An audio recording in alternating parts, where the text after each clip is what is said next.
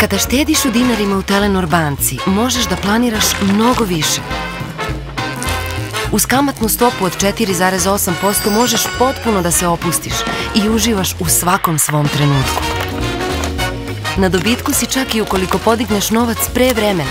6 ili 12 meseci prođe dok trepneš, a osjećaj sigurnosti ostaje. Štedi u dinarima u Telenor banci. Uz kamatnu stopu od 4,8% ne moraš da brineš o kursu. Ako podigneš novac pre isteka roka, dobijaš polovinu kamate. Telenor banka, svuda gde si ti.